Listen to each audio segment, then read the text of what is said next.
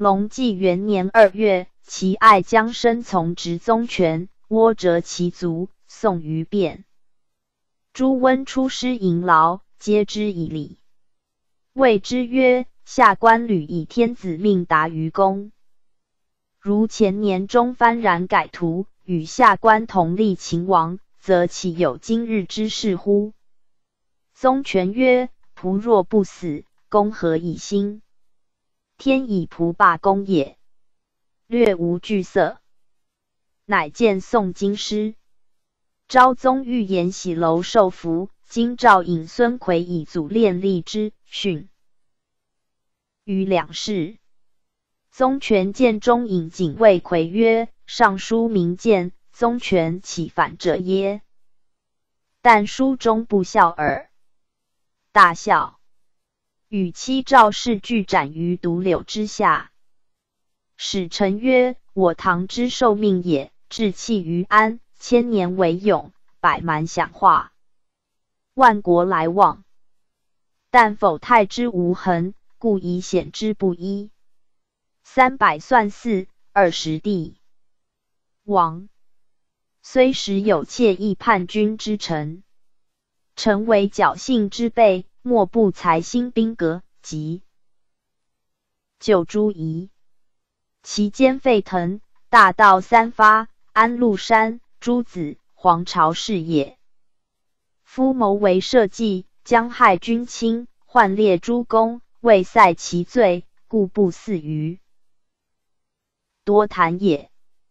然道之所起，必有其来，且无问于天时，宜决之于人。是陆山母巫者，身世牙郎，偶愿为立边功，遂至大家宠用。总之马目，特委兵权，爱天子之独尊。与国中之相济，故不能以义治世，以礼治心，遂称相阙之兵，以其非望之福，此所以乱也。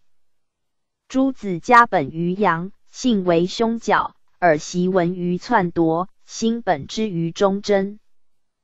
既地乱阶，身流精义，小不如意，别怀意图。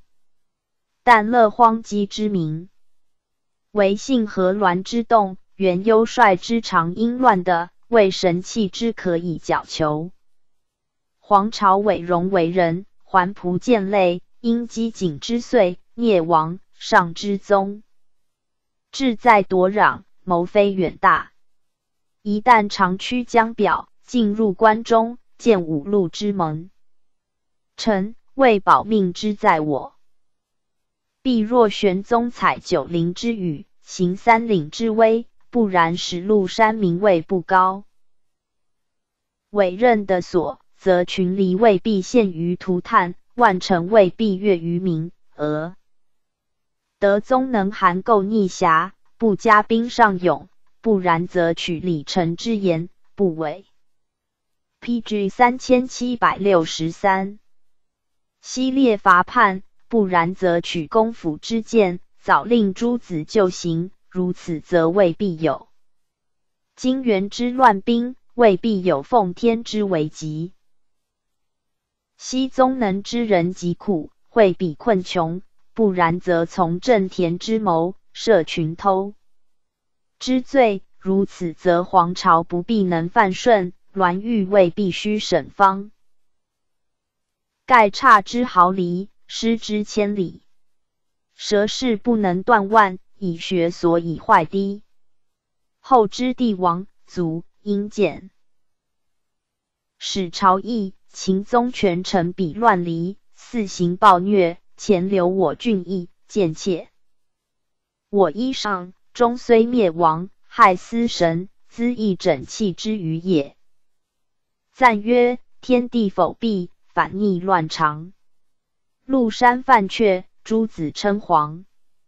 贼巢，灵突群树披壤，争其所以存乎慢葬。